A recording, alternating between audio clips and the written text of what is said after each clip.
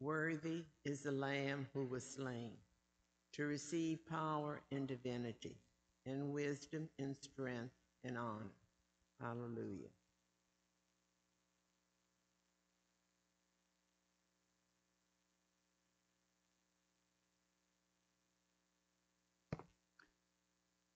Perpetual light will shine on your saints, O Lord, life without end forever. Hallelujah. In the name of the Father, and of the Son, and of the Holy Spirit. The Lord be with you. Brothers and sisters, let us acknowledge our sins and so prepare ourselves to celebrate these sacred mysteries.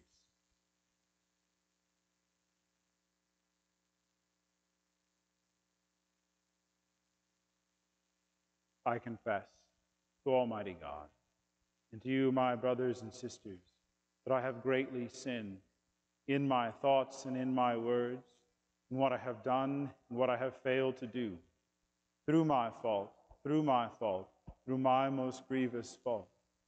Therefore I ask, Blessed Mary, ever Virgin, all the angels and saints, and you, my brothers and sisters, to pray for me to the Lord our God.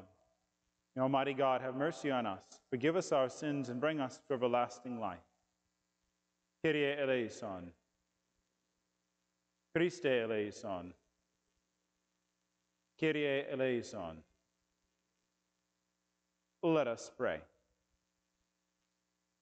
Extolling your might, O Lord, we humbly implore you that as St. George imitated the passion of the Lord, so he may lend us ready help in our weakness.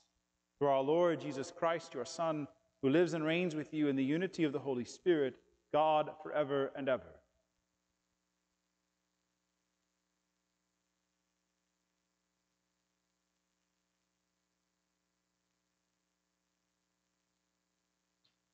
Reading from the Acts of the Apostles. Saul, still breathing murderous threats against the disciples of the Lord, went to the high priest and asked him for letters to the synagogues in Damascus, that if he should find any men or women who belonged to the way, he might bring them back to Jerusalem in chains. On his journey, as he was nearing Damascus, a light from the sky suddenly flashed around him.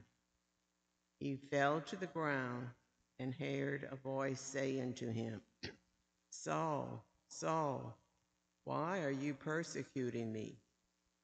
He said, Who are you, sir? The reply came, I am Jesus, whom you are persecuting. Now get up and go into the city, and you will be told what you must do. The men who were traveling with him stood speechless, for they heard the voice but could not see no one. Saul got up from the ground, but when he opened his eyes, he could see nothing. So they led him by the hand and brought him to Damascus. For three days he was unable to see, and he neither ate nor drank. There was a disciple in Damascus named Ananias, and the Lord said to him in a vision, Ananias. He answered, Here I am, Lord. The Lord said to him, Get up and go to the street called Straight and ask at the house of Judas for a man from Tarsus named Saul. He is there praying, and in a vision he has seen a man named Ananias come in and lay his hands on him that he may regain his sight. But Ananias replied, Lord, I have heard from many sources about this man, what evil things he has done to your holy ones in Jerusalem. And here he has authority from the chief priests for in prison all who call upon your name. But the Lord said to him, Go, for this man is a chosen instrument of mine to carry my name before Gentiles, kings, and children of Israel. And I will show him what he will have to suffer for my name. So Ananias went and entered the house. Laying his hands on him, he said, Saul, my brother, the Lord has sent me. Jesus, who appeared to you on the way by which you came, that you may regain your sight and be filled with the Holy Spirit. Immediately, things like scales fell from his eyes, and he regained his sight. He got up and was baptized, and when he had eaten, he recovered his strength. He stayed some days with the disciples in Damascus, and he began at once to proclaim Jesus in the synagogues, that he is the Son of God. The word of the Lord.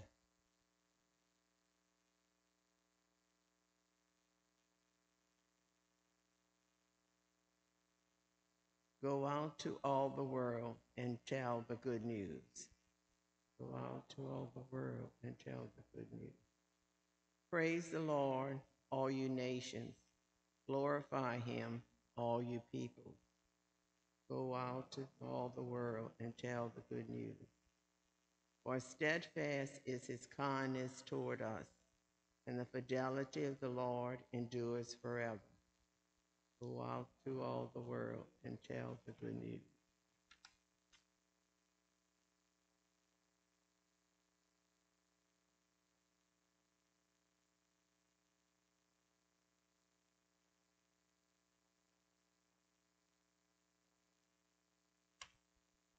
The Lord be with you. A reading from the Holy Gospel according to John. The Jews quarreled among themselves, saying, How can this man give us his flesh to eat? Jesus said to them, Amen, amen, I say to you, unless you eat the flesh of the Son of Man and drink his blood, you do not have life within you. Whoever eats my flesh and drinks my blood has eternal life and I will raise him on the last day. For my flesh is true food, and my blood is true drink. Whoever eats my flesh and drinks my blood remains in me, and I in him, just as the living Father sent me, and I have life because of the Father. So also the one who feeds on me will have life because of me. This is the bread that came down from heaven, unlike your ancestors who ate and still died. Whoever eats this bread will live forever. These things he said while teaching in the synagogue in Capernaum. The Gospel of the Lord.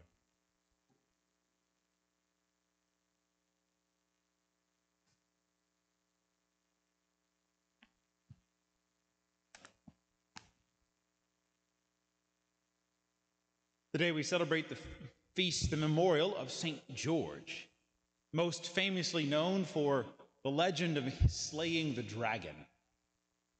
And it's interesting, we know him for that legend, but of course, it probably isn't literally the case that he slew a giant, scaly beast. But that it speaks to his conquest of the devil. The serpent, that we often speak of as the devil, also could be called a dragon if you do the translation a little differently. And so it's his victory over the devil but what we, what's really interesting about this is that that's the most common thing we know about him. He slew the dragon. But the only thing we actually know, historically, was that he was killed. He's known for victory, but the only historical record we have is that he was killed. And so, in a sense, it seems like he lost. Why do we remember him for victory? But this is the reality of martyrdom that in dying for our faith, we are victorious that in dying for our faith, we gain life. We are victorious over the very people who kill us. And we see, of course, in the readings today, St. Paul has this moment of conversion. And what the Lord says to Ananias is interesting. I will show him how much he has to suffer for my name. It's like, welcome to the family. You've got some suffering to do. And Paul does. He suffers greatly. Yet his letters are filled with joy and exulting in the glory and the gift of Jesus Christ. And he ultimately also dies a martyr, but is known as victorious. George and Paul have in common this that they have given their life for Christ, that they gained that title saint, that they were victorious over the devil because they were willing to shed their blood for Christ and with Christ. Are we willing to do the same?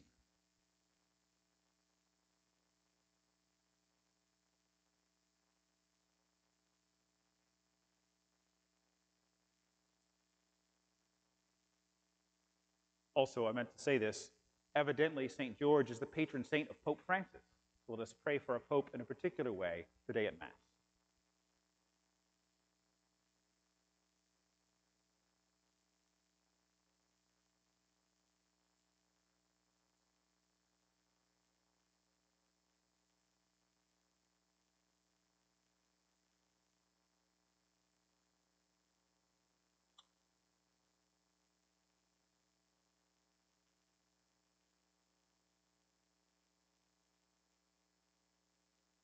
Blessed are you, Lord God of all creation, for through your goodness we have received the bread we offer you.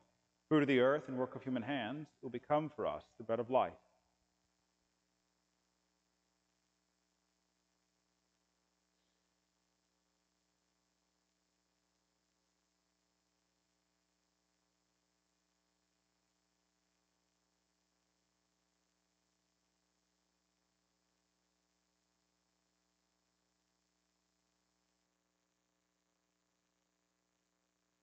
Blessed are you, Lord God of all creation, for through your goodness we have received the wine we offer you, fruit of the vine and work of human hands, will become our spiritual drink.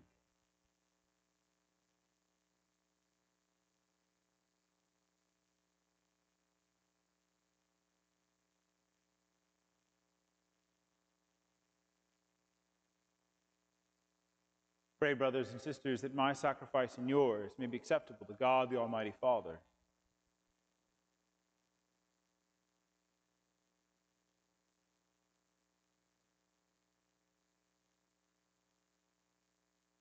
Receive, we pray, O Lord, the sacrifice of conciliation and praise, which we offer to your majesty in commemoration of the blessed martyr George, that it may lead us to obtain pardon and confirm us in perpetual thanksgiving through Christ our Lord. O Lord, be with you. Lift up your hearts. Let us give thanks to the Lord our God. It is truly right and just, our duty and our salvation, always and everywhere to give you thanks, Lord, Holy Father, Almighty and eternal God. For the blood of your blessed martyr George, poured out like Christ's to glorify your name, shows forth your marvelous work, by which in our weakness you perfect your power, and on the feeble bestow strength to bear you witness through Christ our Lord. So, with the powers of heaven, we worship you constantly on earth, and before your majesty without end, we acclaim. Holy, holy, holy Lord, God of hosts. Heaven and earth are full of your glory. Hosanna in the highest. Blessed is he who comes in the name of the Lord. Hosanna in the highest. You are indeed holy, O Lord, and all you have created rightly gives you praise. For through your Son, our Lord Jesus Christ, by the power and working of the Holy Spirit, you give life to all things and make them holy and you never cease to gather a people to yourself, so that from the rising of the sun to its setting, a pure sacrifice may be offered to your name. Therefore, O Lord, we humbly implore you, by the same Spirit, graciously make holy these gifts we have brought to you for consecration, that they may become the body and blood of your Son, our Lord, Jesus Christ, at whose command we celebrate these mysteries. For on the night he was betrayed, he himself took bread, and giving you thanks, he said the blessing, broke the bread, and gave it to his disciples, saying, Take this, all of you, and eat of it. For this is my body, which will be given up for you.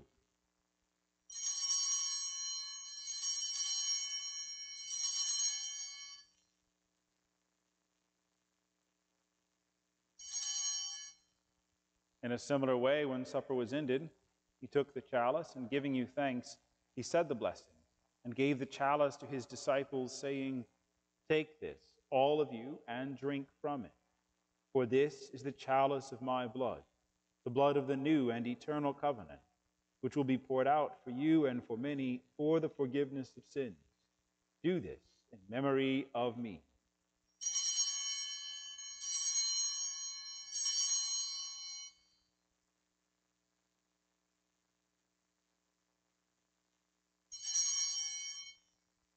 The mystery of faith. Save us, Savior of the world.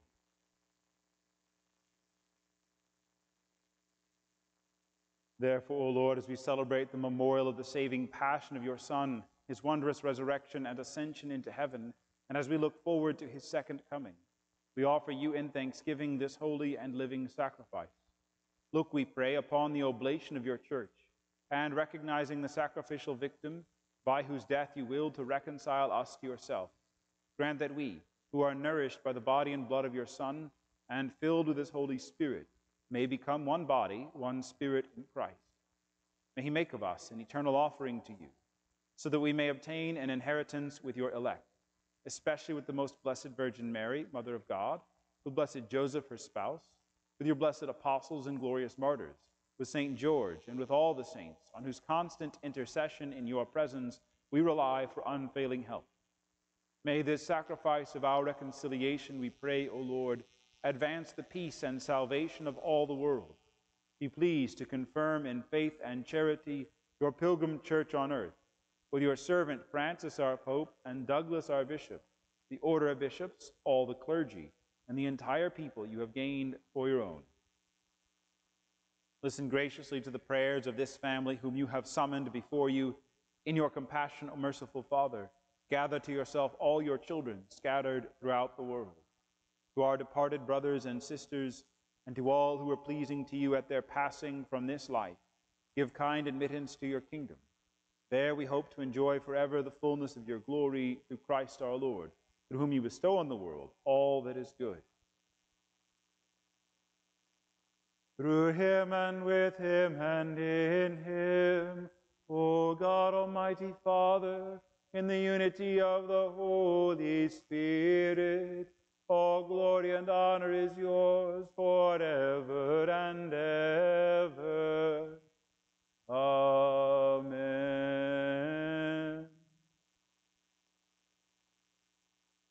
At the Savior's command, informed by divine teaching, we dare to say, Our Father, who art in heaven, hallowed be thy name. Thy kingdom come, thy will be done on earth as it is in heaven.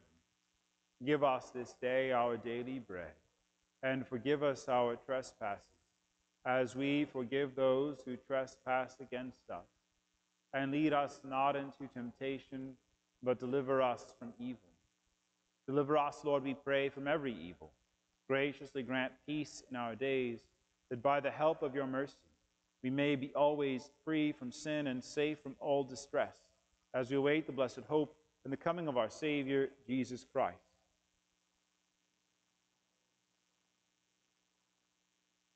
Lord Jesus Christ, who said to your apostles, Peace I leave you, my peace I give you. Look not on our sins, but on the faith of your church, and graciously grant her peace and unity in accordance with your will, who live and reign forever and ever. The peace of the Lord be with you always.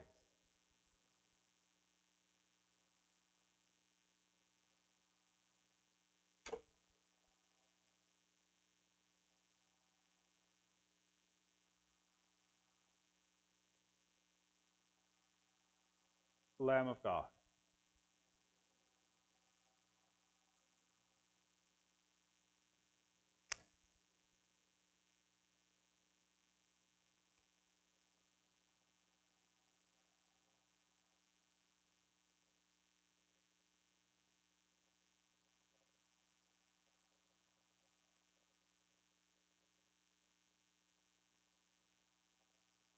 Behold the Lamb of God.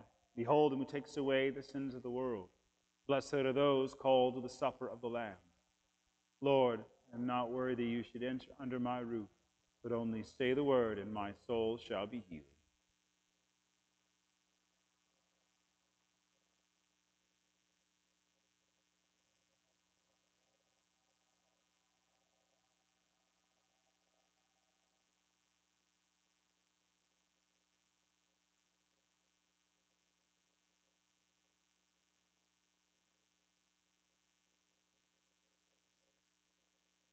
Blessed is the servant whom the Lord finds watching when he comes.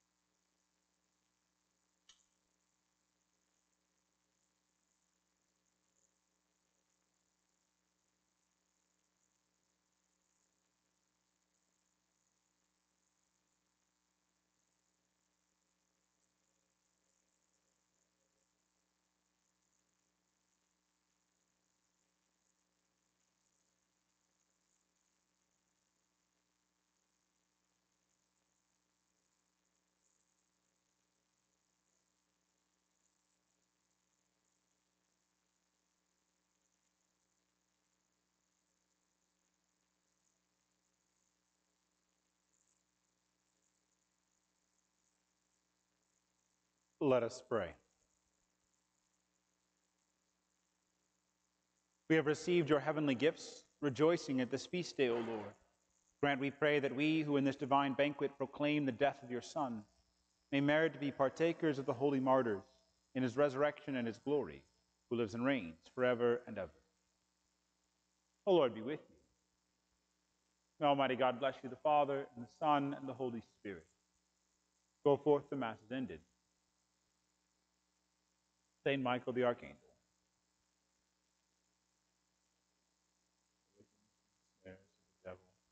May God rebuke him, we humbly pray. And do thou, O Prince of the heavenly host, by the power of God, cast into hell Satan and all the evil spirits who prowl about the world seeking the ruin of souls.